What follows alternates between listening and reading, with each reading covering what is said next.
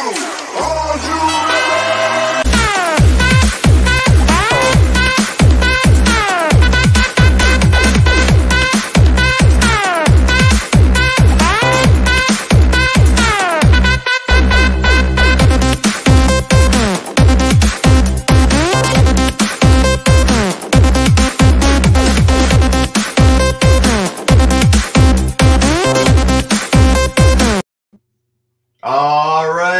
welcome, Senior Referral Academy students. We've got a real treat today. Got Charmaine uh, in the house, and I'm so excited to have her on and ask her some questions about marketing and her perspective from being a social service director. I know a lot of you guys uh, over the years have asked me very specifically, Matt, how do I talk to a social worker? How do I get a hold of them? What What are some of the things they want to hear? And so, guess what? You're going to have a former social worker, social service director on today. So, if you're out there in the, the land, this daily live, you know, hop on, ask her some questions. I've got some questions I'm going to ask her just in a conversational way. But I hope these daily lives are, are important to you as they are to me. I, I love uh, continue to add value. Uh, I just sent out an email today to all the people that have ever been interested in the Senior Referral Academy uh, to let them know that now on our uh, YouTube channel, we have 264 videos of free content. So you got free content here on the daily lives as well as the uh, uh, YouTube channel. So I'm gonna bring Charmaine in and let's get this thing going. Charmaine, welcome. So glad you are here. It's not Thank like I don't. you. It's not like I don't talk to you every day, right? You're like, man, Matt, I, I, I talk to you every day. Now I got to come on a daily live and talk to you. Oh, I this is fabulous.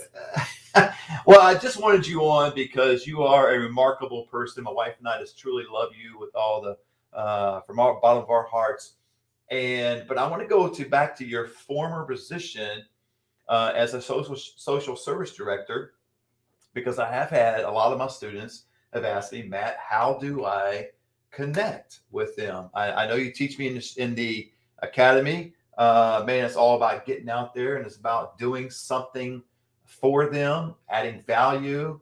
But quite honestly, I'm getting a bunch of crap leads, man. I'm getting, you know, no uh, move ins from it. Uh, but I still feel that it's a viable option and strategy going forward. So tell me a little bit about your position and uh, when you worked at the uh, skilled nursing facility. Yeah, as the social service director, you know, you get a lot of people coming in often. They're dropping by, they want to grab your business, grab your ideas. There's an influx of information and um, but those that you connect with are usually those that you um, want. You need that help. And I knew that because of how I was approached um, by you in the beginning when I needed help finding placement. Um, that was the biggest thing. But I can't, you can't necessarily go in as placement. You got to go in as a helper. Um, I approach them as what can I do for you to help you in your position? I know your plate's full. I know your desk is full. Um, what can I do to take that load off of you um, in regards to discharging patients? Absolutely. That's a great answer. And I, you know, Charmaine is actually demonstrating that very thing right now. There's a skilled nursing facility in my area that I've done a little bit of business with in the past, but never from the social worker, social service director. It was always a lead that was given to me indirectly from one of my people my network. But Charmaine, wonderful she is, has already busted down that door. She's got some social workers that are interested in who she is and what we represent. And now, what's the first thing they did to her? Hey, I've got this uh, this lead, but you know, it's not probably what you're looking for. Charmaine, tell me a little bit about that and how that went for you. Um, so I went and I saw the social worker, Josephine, about a week ago, and she says, Yeah, I'll um, forward the information over because they happen to have discharge planners in addition to their social services. Now, that's something I didn't realize, and I've drilled down who has discharge planners in addition to the social workers, but I make them as a group. Um, so I focused on um, the one social worker when I went and visited her, and she says, "Hey, you know." I really like what you have. I want you to meet our discharge planner. So stop by. Her name's Bonnie. Stop by and say hi. And and so I did yesterday morning. I, I called and I said, Hey, Bonnie, I'll be in the area. Um, wanted to bring you coffee if you would like. I want to just drop off my new business cards, make sure you had one because I know you, um, Josephine had them, but I want to make sure that uh, you have them. And she says, Yeah, come on by. And I said, Okay, great. So I knew that the morning meetings for all skilled nursings run anywhere between 9:30 and 10:30. So that's a no time. I wouldn't even attempt unless you just plan on dropping something off because they're not going to be available. So I waited and I went after that time and she was glad to meet me. She was expecting me. She was ready to meet me and I gave her my card and uh, and the information and she says, "Hey, I need some help on this lead. Um she's young, but you probably won't work with her." I said, "No, we're in the business to help." right. Absolutely. Right. What do you yes. got for me? She said, um, well, she's she's only 27 and I need to get her back to another county. And I said, send me the face sheet and I'll get started on it. And she says, Oh, great. She says, um, Is your cell phone number on the card? I said, Absolutely. I said, How about yours? I said, Let me get your cell phone number. Oh, beautiful. You guys hear that? so she she that's did. Beautiful. That's that's taking advantage in a good way to get her cell number. Go ahead, continue. Yeah, so she's texted me before I was even out of the parking lot. Hey, Charmaine, this is Bonnie. I have that lead for you. And I wrote back, Yep, I'm heading back to the office right now once I get back to the office, um, you can send it so I can print it. And she says, You want me to send it via phone or email? I said, No, send it email so I can print it out and I'll get started on it. And then, um, so she did.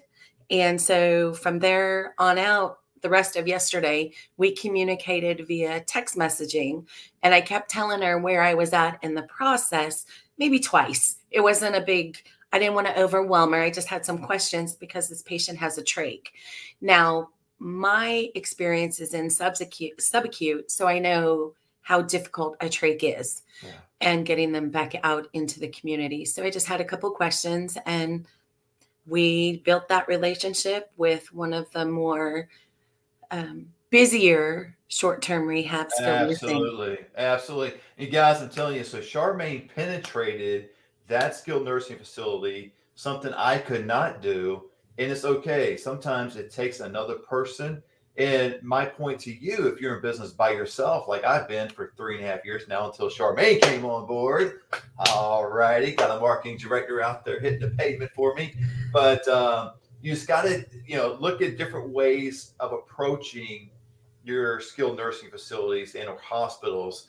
Uh, understanding their people, they are, you know, it's not going to be the same way. It's not like, you know, you go open up a McDonald's franchise and assuming that everything's going to be just like that. It's, it's not a cookie cutter approach. It's more an art than it is a science. So you have to get to know the social worker, social service director uh, as best you can and take them up that scale we've talked about before in some of these lives. Like if they're a flat out zero, they're cold as ice. How can you get them to a one? Don't worry about getting them all the way to a 10. Now that's great if they change. It's a you know it's a miracle. I mean, but you know, in reality, it doesn't usually happen. But how can you get them to a one and gradually build that relationship? So Charmaine has done a great job with that.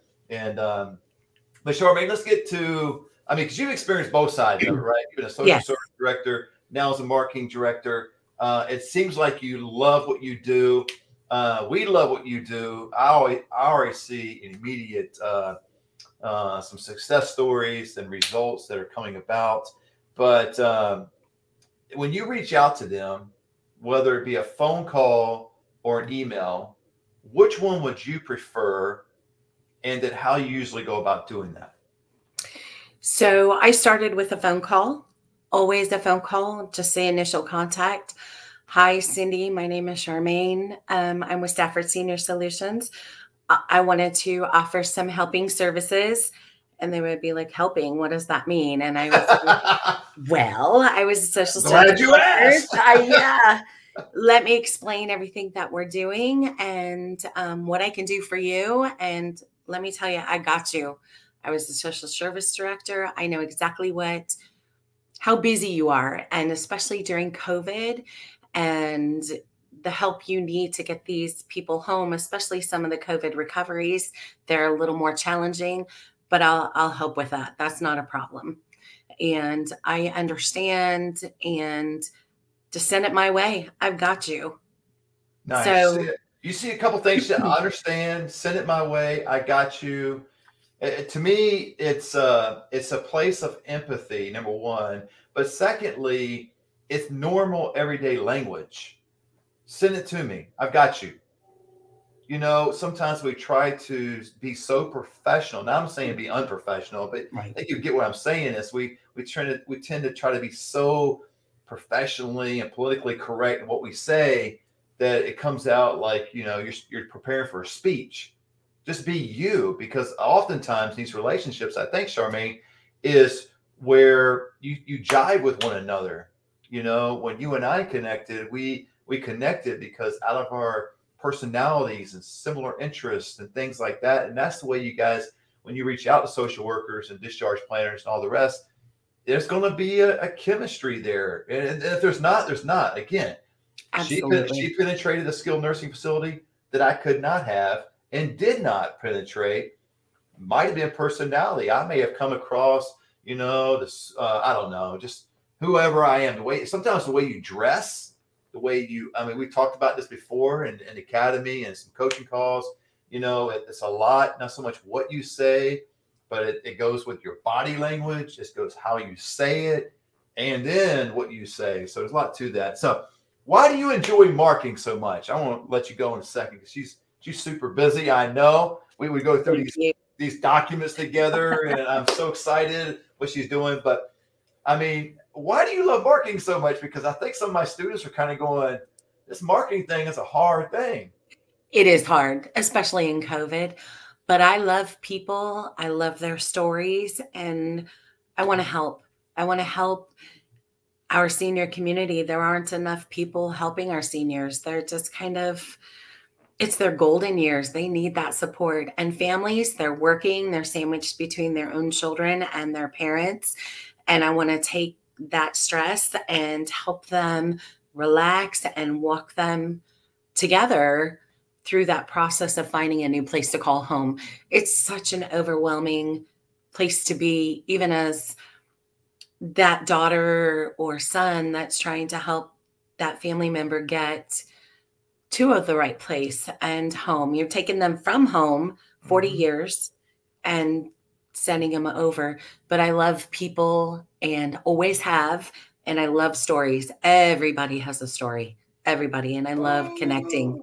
I love it. Love it, guys. If you're not inspired by that, I don't know what's going to inspire you, but I know you are. And I want to, I'll let you go, Charmaine, but thank you. With your permission, uh, like for the students, I know some of you are watching live now and most will probably watch later.